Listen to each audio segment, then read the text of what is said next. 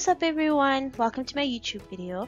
Today I'm gonna show you how to make this awesome slide um, which is um, like a light bulb switching on and a, and a hand uh, clicking on a switch and making the light bulb switch on okay? I'm not really good at explaining step by step so just watch the video and then um, leave a comment down in the comment section below if you have any questions or queries or comments and then I will be sure to assist. Enjoy!